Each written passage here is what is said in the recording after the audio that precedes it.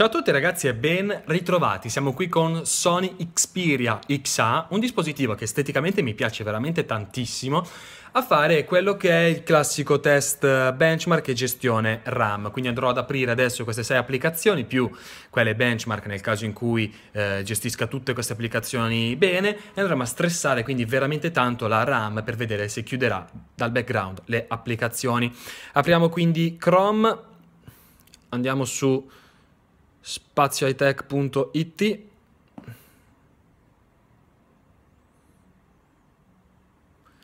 lasciamo che carichi. Eccoci qua ci siamo. Quindi usciamo da Chrome e apriamo YouTube. Aspettiamo che anche YouTube carichi il uh, eccoci qua.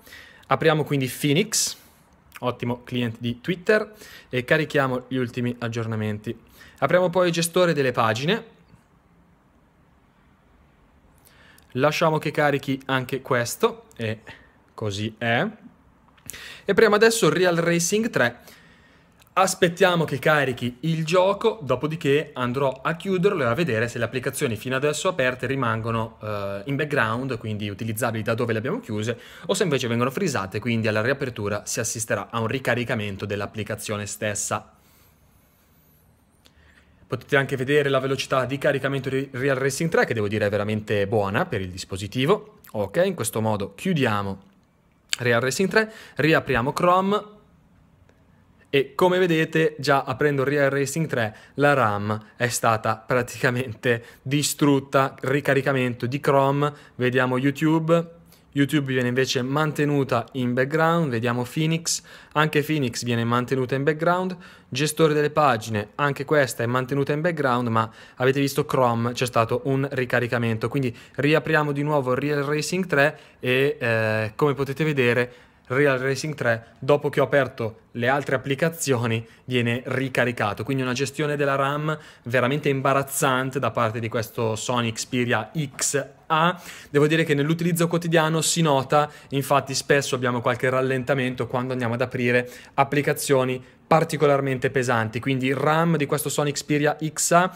bocciata purtroppo, anche se in realtà nell'utilizzo quotidiano mi ci sto trovando veramente molto molto bene, anche se come ribadisco ha qualche piccolo rallentamento ogni tanto, qualche piccolo uh, baghettino, uh, sicuramente migliorabile tramite aggiornamenti sperando che arrivino.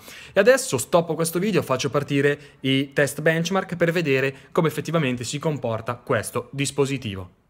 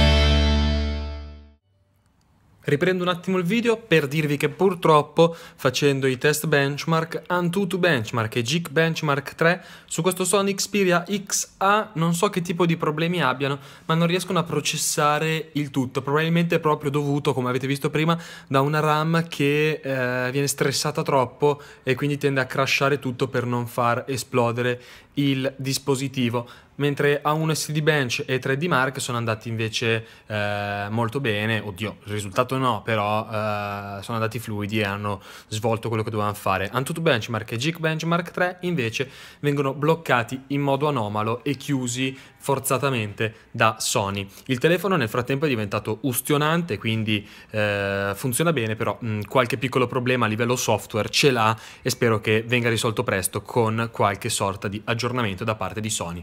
A questo punto chiudo questo video, ciao ragazzi da Daniele per Spazio High Tech.